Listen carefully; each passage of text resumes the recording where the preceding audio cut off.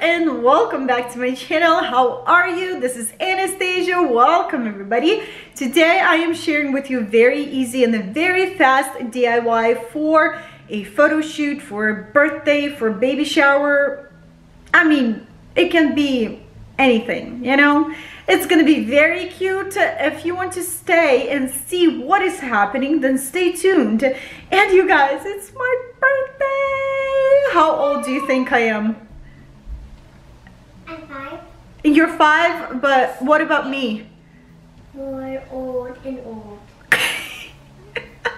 Here's one of the supplies that we're about to use, those sticks. So if you want to see what is happening, stay tuned and let's go.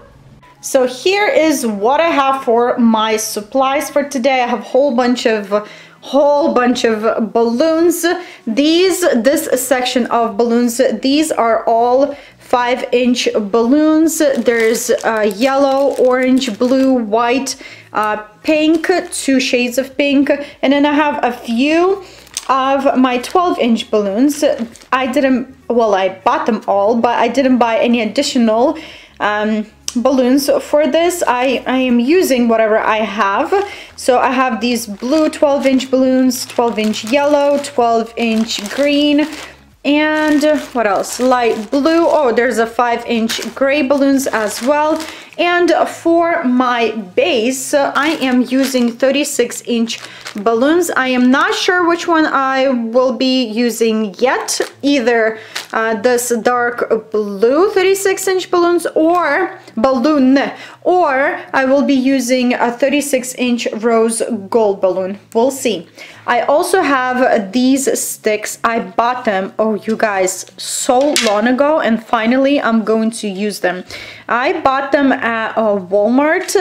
I think they cost me like around a dollar or something like that. These are one and a half inch by 36 inch. So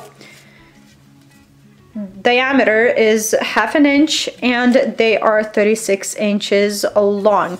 I have three and I will be using three. For this DIY you can use four, whatever you feel comfortable and you'll see why.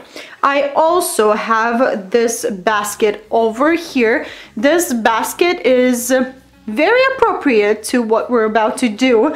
Uh, this is a basket from my daughter's room. I usually store uh, her toys in there. It's pretty deep and it is um, fabric, like basket. Yeah, it's a basket and it's so cute and this is where, and this is I can fit in there. Yeah, she can definitely fit in there. And I will be using uh, this for our air balloon DIY. So let's go. So first things first, I am blowing my base. I decided to, go Nicole, go. I decided to use my rose gold 36 inch balloon just because it's not gonna be as bright of a color underneath, you know what I mean? Like it's, it's better to have something uh, lighter and more like a neutral color just in case, just in case. I am using my electric balloon pump to pump my balloon. Also, I am using um, balloon tying tool to tie this big balloon up. And I'm using low low temperature glue gun to attach all of the balloons later on. Low temperature glue gun won't pop your balloons so don't worry. Use it with confidence. Let's go